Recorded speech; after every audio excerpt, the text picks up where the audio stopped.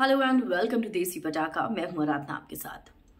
Big boss के घर के अंदर ऐश्वर्या को क्या मिल रही है उसके कर्मों की सजा? भाई देखिए, ऐश्वर्या को लगातार फैंस ट्रोल कर रहे हैं, जिस तरीके से वो नेगेटिवली शो में नज़र आ रही हैं।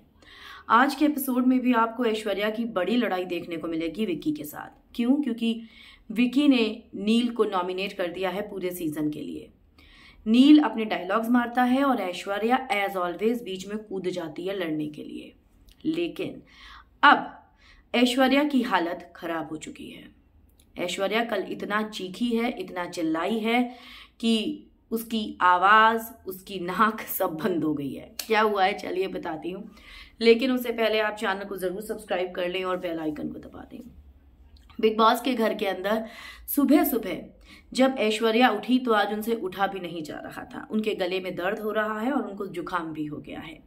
ऐश्वर्या नील के पैर पकड़कर ऐसे, बिल्कुल ऐसे ही लेटी हुई थी। मतलब बैठकर लेटी, बैठकर सो रही थी जब सुबह वेकअप सॉन्ग बजाया गया था।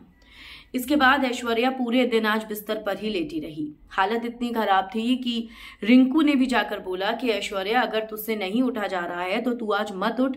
मैं ही खाना बना लेती हूँ, हो जाएगा मैनेज किचन का काम। और वो खानजादी जिसको ऐश्वर्या हमेशा गलियारती रहती है, उसने कहा हाँ कर लेंगे रिंकू जी, मैं और आप मिलकर कर लेंगे। कितने लोग हैं? हम चार पाँच लोगों को तो खाना बनाना है। लेकिन ऐश्वर्या कहती है, नहीं, मैं हिम्मत करती हूँ, उठती हूँ थोड़ी देर में।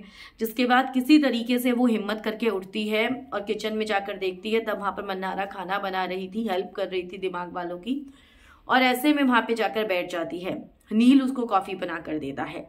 पर एक बात तो माननी पड़ेगी ऐश्वर्या जी, आप इतना मत चिल्लाइए कि आपकी आवाज़, आपकी नाक, गला सब बंद हो जाए। क्या कहेंगे आप? कमेंट्स में आप ज़रूर लिखें, वीडियो को लाइक और शेयर करना ना भूलें।